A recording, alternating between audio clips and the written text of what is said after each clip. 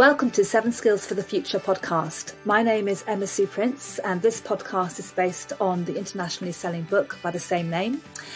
This book focuses on seven important skills. They are adaptability, critical thinking, empathy, integrity, being proactive, being optimistic, and being resilient. And this podcast is all about how you can bring these skills into your everyday life so that you are living a life full of happiness, full of purpose, great relationships, doing work that you love, and just really getting the most out of life.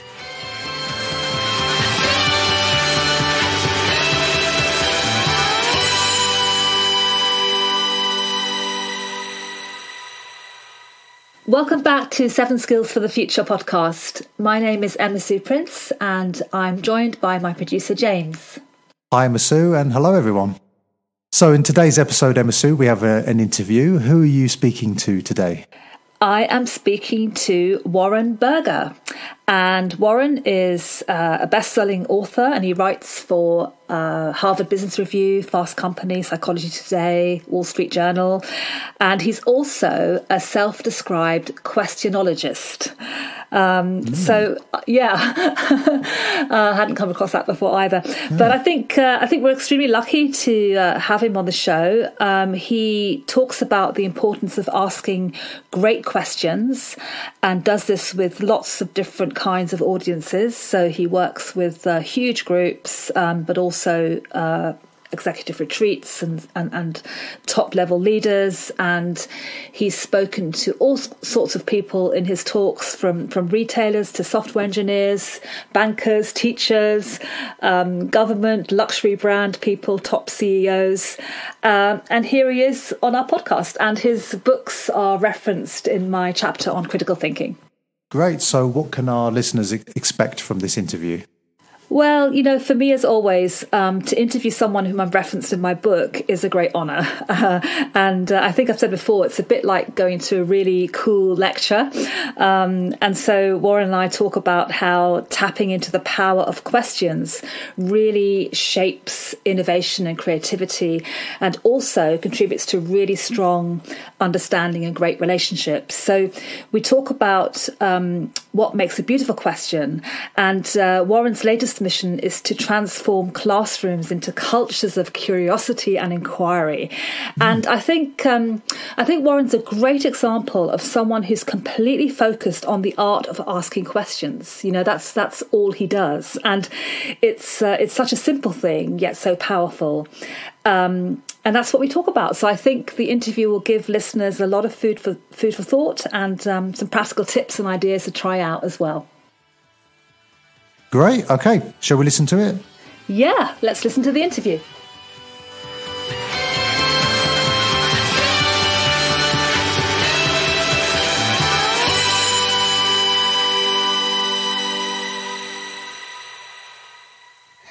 So I'm delighted to be welcoming Warren Berger to the podcast all the way from New York. Thank you so much for coming on the show today. Thank you for having me. It's great to be here. Well, I think I want to ask you, first of all, why questions are important. Why should we care about asking questions? Well, they're they're super important for um, so many reasons. They they affect so many parts of our lives, and we don't even realize it. Um, you know, I initially got interested in the aspect of questioning that relates to innovation and and creation. Uh, you know, I found that a lot of innovators, creators, artists are uh, are often working with or working on a big question. And mm. usually it's that question that leads them to some kind of a breakthrough. You know, someone will be saying, Why hasn't someone come up with a better way to do this thing or that thing? And then they pursue that question and it eventually leads them to, you know, some type of a very successful outcome. So I was hmm. interested in, initially in the in that aspect. We'll call it the innovation aspect mm-hmm. of, of questioning. But then as I got deeper into the subject, I realized it's it's important, you know, in so many ways. Um, well, there's the obvious way we all know that it's a way you get information out of, say, other people. But beyond that, it's a great way to build a rapport with people when you're conversing or just having a relationship with someone asking questions is a really great way to build trust and, and interest. And it's just really effective. Um, it's also really effective um, as a leadership tool, which kind of surprised me. I, I didn't think of initially of thinking of asking questions as something that a leader does. But the more I researched and looked into it, the more I realized that, you know, leaders who ask great questions can really uh, engage people and rally them around uh, a big cause or a big a big goal.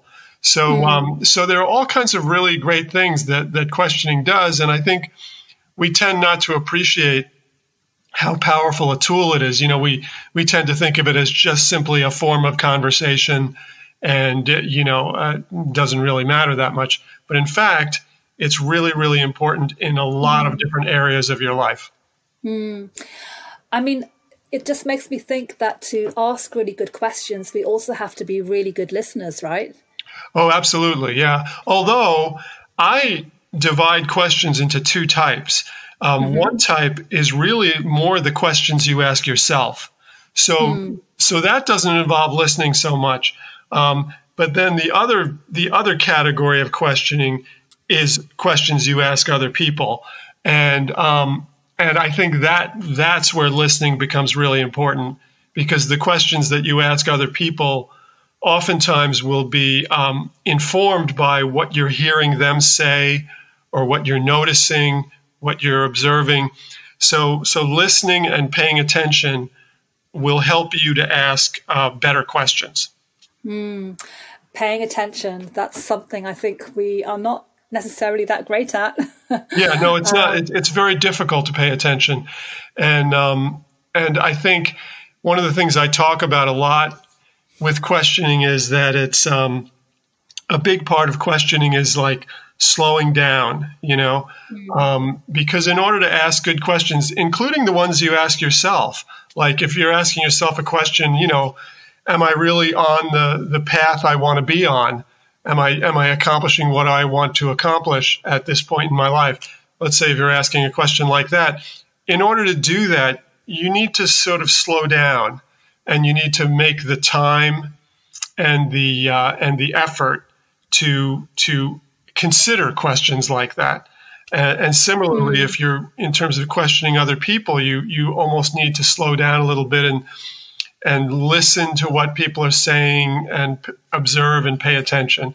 So yeah, it's it's not easy. I think we can all get better at paying attention if we um, if we work at it. You know, I I talk a lot about trying to practice uh, beginner's mind uh, in your mm-hmm. life and in your work, you know, which is simply, you know, trying to look at things as if you haven't seen them before, trying to take a fresh perspective on things.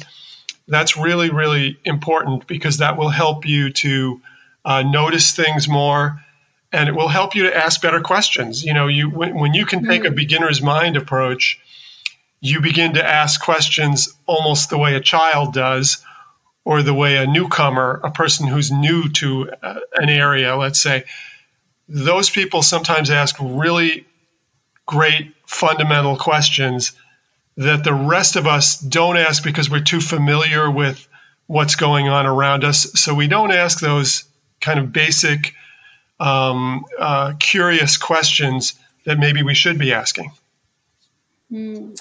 How do we get to that beginner's mind? I mean, our, our minds seem to be constantly crammed with distractions and information and, and, and assumptions as well, right? About about things. So beginner's mind is, is is kind of having a blank sheet of paper. Yeah, it is. How do you how do you get to that? Um, I just think it's a matter of asking yourself to do it or telling yourself to do it.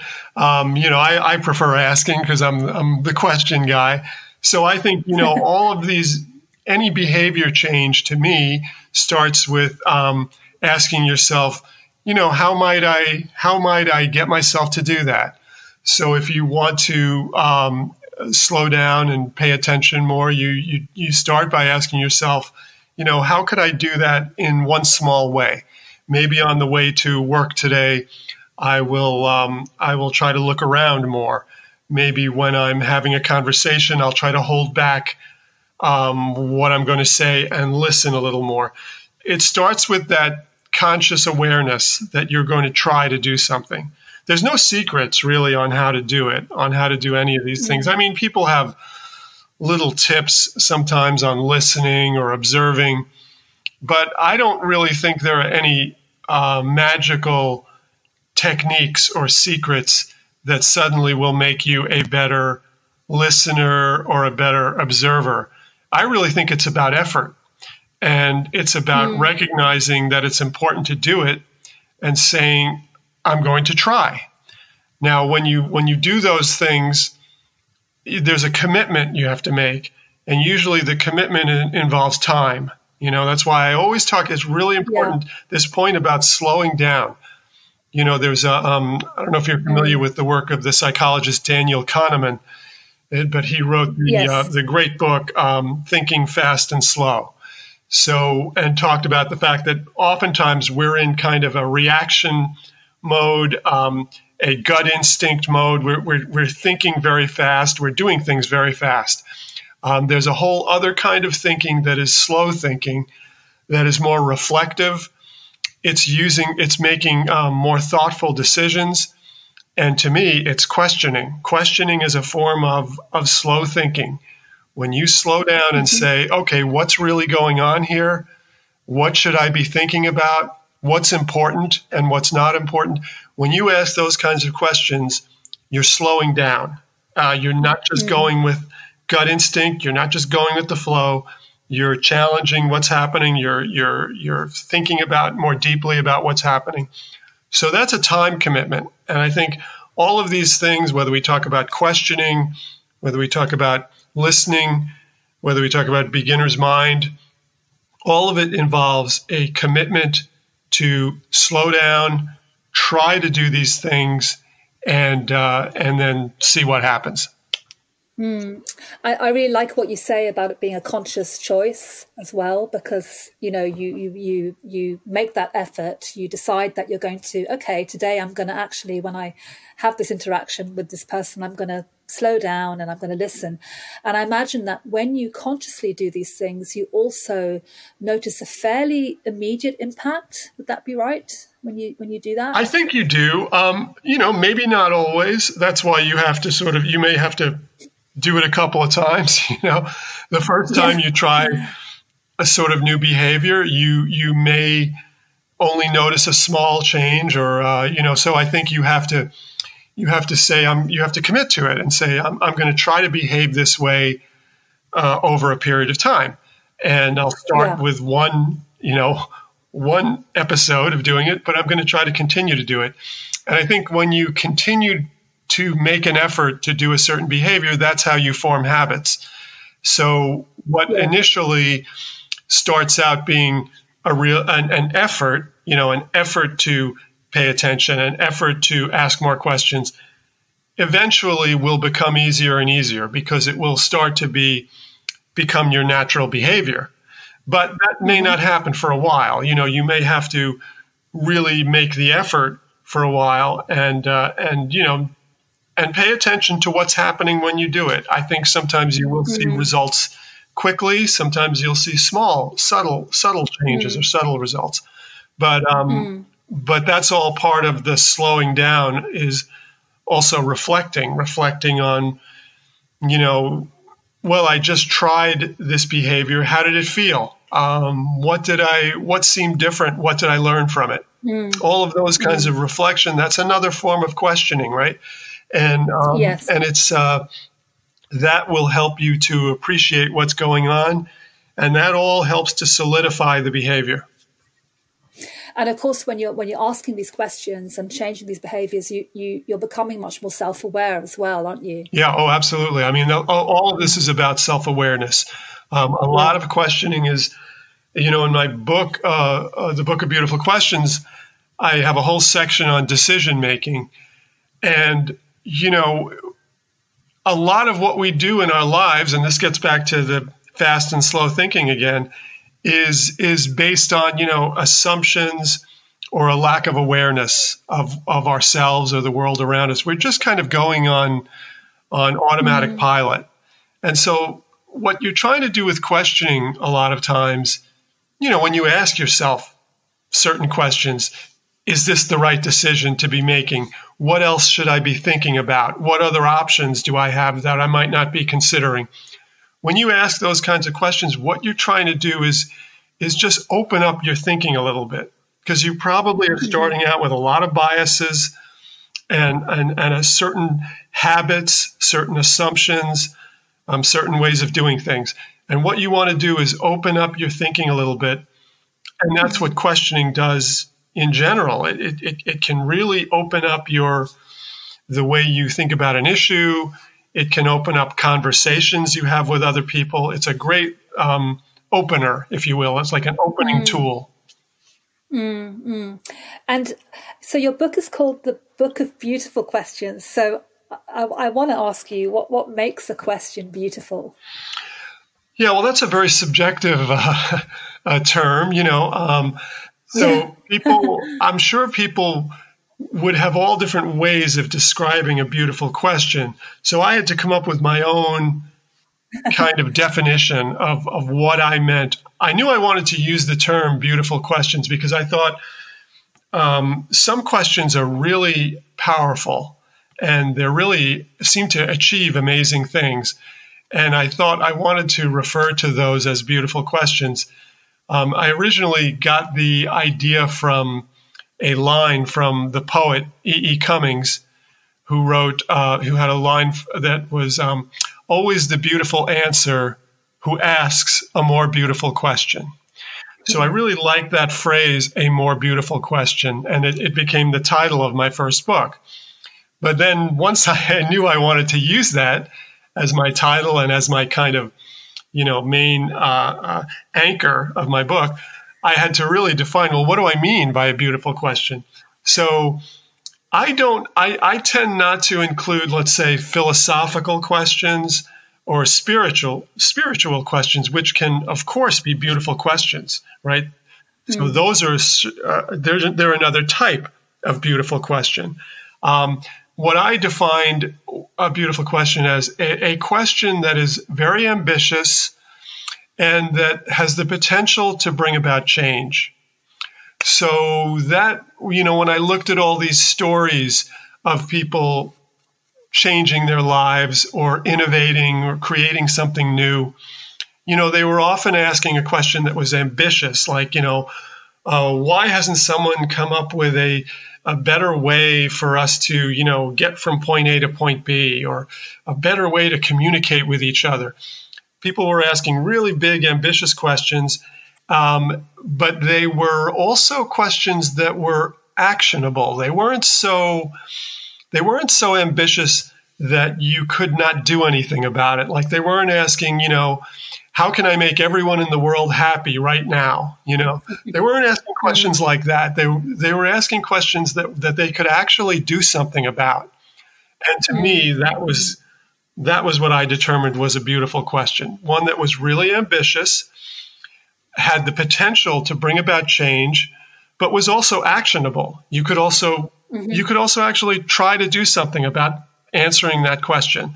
And I still hold on to that as my my um, definition for a beautiful mm. question. Mm-hmm. But other people may have other definitions. You know, they may have definitions that have to do with a question that um, that sort of um, explores a, uh, a, a, a, new way of thinking or, or, or some or a hmm. question that that um, you know brings you to a different place spiritually you know that could be a mm-hmm. beautiful mm-hmm. question too I like it. I like I like the idea of a beautiful question, yeah. and I like the idea that we probably can, at any time, uh, ask those kinds of questions. You know, what if this were different, or what if this could be done differently, or changed in some way? I mean, you could almost go about your day asking those questions. Yeah, you could. And now, one thing, I, one point I want to make though is that you know the really great stuff happens when we don't just ask these questions and then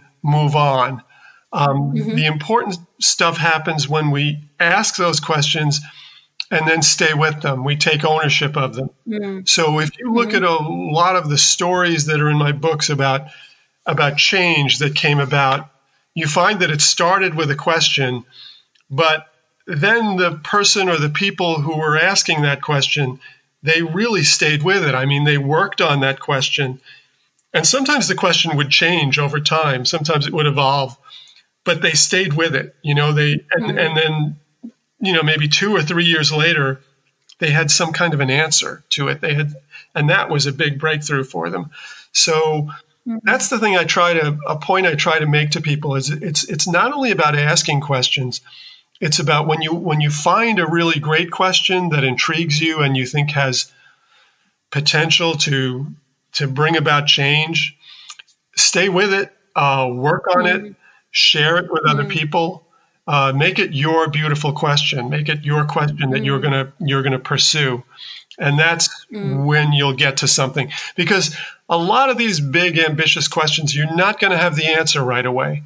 Um, that's why they're ambitious questions. I mean, they're you know uh, you you can't look it up on Google. You know the kinds of questions I'm talking about. They really involve. Uh, they require a much deeper kind of search, and so mm-hmm. you you have to be willing to stay with them. Mm-hmm, mm-hmm. And I guess it's also the same when you're asking yourself questions because you've got to try and stay with it and and actually be willing to answer the question that you yeah be willing to you know, work on it you know like yeah, because the thing is you yeah. probably won't have an answer and that's why a lot of people shy away from those questions they they feel like mm-hmm. well if i ask myself a really difficult question about you know having to do with what i'm doing with my life or some where I'm at right now in, in my career, if I ask those kinds of questions and I don't have an answer, then I'm mm. gonna I'm gonna be really frustrated. So mm. what I mm. say to people about that is just the point of asking these big questions is not to ha- come up with an answer on the spot. It's to get your mind thinking about it. It's it's to get it's to sort of get some momentum behind mm that mm-hmm. question so that you can explore explore it, uh, pursue it. As I say, share it. You know, really important to share questions with people. If you're working mm-hmm. on a challenge, if you're working on a problem, let people know. You say, you know, say, hey, you know, I'm, you know, I'm pursuing this question of how how might I find a way to do this or do a better job at that. Share it, um, put it on the wall to remind yourself about it. And I think what you'll find is you will make progress on that question. Mm. It will it will happen almost automatically. Um, you know that we often hear about you know getting ideas in the shower or waking up waking up with an insight. Well, if you if you're working on a beautiful question, that's going to happen. You're going to get insights. Uh-huh. You're going to and they won't necessarily come right away when you first ask the question. They might come 2 days later. They might come 3 weeks later. You know, I've, I've yeah. had stories where, uh, you know, the uh, with Steve Wozniak, the the co-founder of Apple, told me that he he had a question he was wrestling with, and the answer came to him 20 years later, uh, just out of the blue. so it's a funny thing, you know, um, with with these questions when you put a question into your mind. Your mind will go to work on it, and you might not even realize it. Your your subconscious is going to be working on answering that question. So, yes. but you have to ask it first. If you don't yeah. ask it, if you don't ask your mind that question, um, then your mind's not going to work on it. So mm. that's why it's so mm. important. And and do you think that writing it down helps that process? Yeah, oh, definitely. I think um, yeah. any way to solidify the question um, mm-hmm. is is good because number one, it, it keeps it in your in your it keeps it in your sight, you know. Um, mm-hmm. And the other thing good about writing down questions is it forces you to work on them a little bit. So mm-hmm. you might be able to, you might find that as you write down the question, you make it more precise or you make it more specific. Um, you might change the wording and realize, oh no, I don't want to say it this way. I want to, I want to open mm-hmm. up the question and expand it so that it's even more ambitious. Or you might say, no, I want to I want to bring it down a little bit and, and, so that it's more focused and it's not overly ambitious. So, so I think writing down the question will help you to work on it and improve it and get it into a, a, a final form. Mm-hmm, mm-hmm. And by the way, when I just want to share with people, yeah. when you're working on a big question, um, great phrase to use is "How might I?" Or if you're working with uh-huh. if you're working with a group of people, how might we? It's just a very powerful way to begin a question that involves solving a problem. So mm. don't say what should we do about this or what are, how are we ever going to deal with this problem? It's like how might I or how might yeah. we find a way to do a better job at X? Um, yeah, kind of. Yeah. It opens things up, doesn't it? Yeah, yeah. It, it, opens yeah. things up, and and it's it, it the word might is very important because it allows for different possibilities. It doesn't suggest there's only one way to do it. When you say might, uh, you might do this, you might do that. So it opens up lots of um, creative possibilities. Yeah, yeah. Uh, yeah, I, I, want to come back to something you said earlier on about um, conversation openers. So I did read when I was um, look, looking at some of your, your work, I read that you had said, or you had you'd quoted um, that a, quiet person's superpower is uh, is questions. Yeah. So I'd love to know a bit more about that and and how uh, you know I, I'm a natural introvert, so the idea of going out and asking questions is is you know it's out of my comfort zone. I do it, of course, because we introverts are good like that. But how how can we really harness that as a superpower? Well, I think um, you know, first of all, appreciate it. It's it's it's a as an introvert, you probably have some of the tools to be a better questioner. Um, all you already have them because introverts tend to be uh, a little bit better listeners they tend to be a little more uh, thoughtful when they speak. Um, and so those are all things that help you uh, be a better questioner. So you already have um, some stuff working for you. Uh, now, now the reason questioning is such a great tool for an introvert too is is it's um, it takes some of the pressure off you to be in the spotlight, uh, telling a long elaborate story, you know, um, which can be difficult, right? Uh, what yeah. you do when you ask questions is you shift that responsibility over to the other person and you allow that person to do more storytelling. And um, a lot of people really like that when you do that, when you give them that opportunity, especially if they're not introverts, right? So they mm-hmm. it gives them a chance to shine and to share something with you. And so your role then can be, you know, I am going to uh, do the best job I can of pulling this story out of this person. And that means I will not only ask the initial question about, um, you know, an initial question might be, you know, what are you really excited about these days, or what are you passionate about, passionate about these days? And then someone will say, oh, you know, I'm really, I really like doing such and such. I've really gotten into it. And then you can ask follow up questions of like, you know, what is it you really like about that? Or how did you 1st mm-hmm. get started on that? What, what, what first drew you to that? So you can use questioning to really draw out that person. And, um, and it's really, it's really effective. Now, I also recommend, you know, every now and then you should share your own perspective on it too with them so that mm-hmm. it doesn't seem like you have no opinions or you have no life or you have no you know you want to you want to join in as well and say you know my own yeah. experience with that is such and such but the questioning is a great way to for you to um, just sort of get into a conversation without having to um, do some of the difficult stuff of, mm. of telling jokes or telling stories or, or, or that kind of thing those are really good tips because I've got a networking event coming up, so which I which I kind of naturally like to avoid. Yeah, but, so uh, so go into it almost as if think of yourself as a uh, detective, uh, and yeah. and your job is to bring out is to uncover the interesting things that people have to say or that are going on in their lives that they really would like to share, and and your your job is to help them share it. That's great. That's great. So, um, Warren, what what kind of things are you working on at the moment? Well, what I'm doing right now is I'm taking my work, uh, particularly my first book, A More Beautiful Question, and I am adapting it for schools. Um, mm-hmm. And uh, this this will be. Uh, uh, primarily schools in the U.S., but it's a it's a it's a publishing company that has international um, um, editions. So I, I, hope it's going to get out to schools in in Europe and around the world. Um, and it's basically you know taking this idea that questioning is so important and trying to share it with teachers and mm-hmm. educators and school administrators so that they will try to find ways to bring more questioning into the classroom.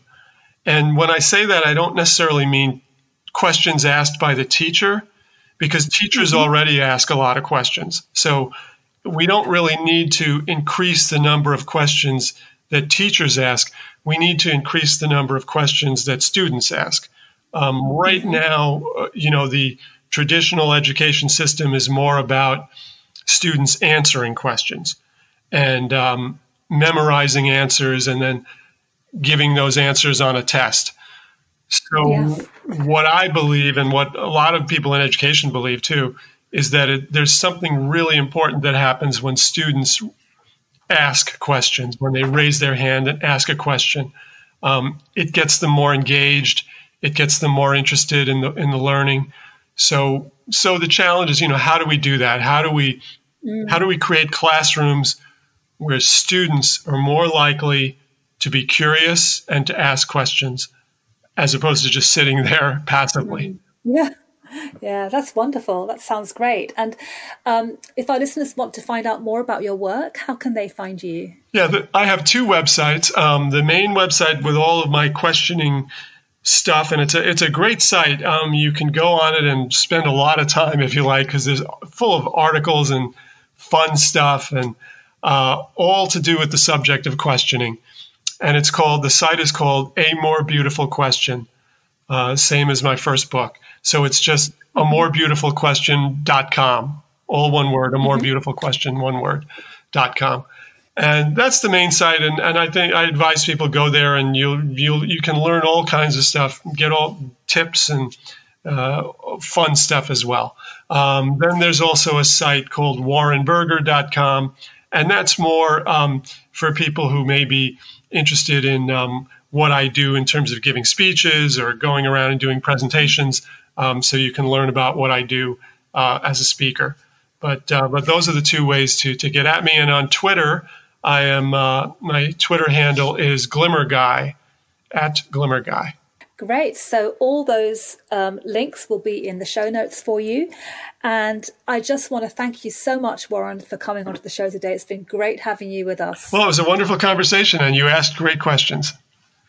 Oh, thank you. Well, you've given me lots to think about as well. So uh, I hope uh, all our listeners have got uh, food for thought and really some um, great inspiration for thinking about the questions that they might ask of others and of themselves. So thank you so much. Thank you.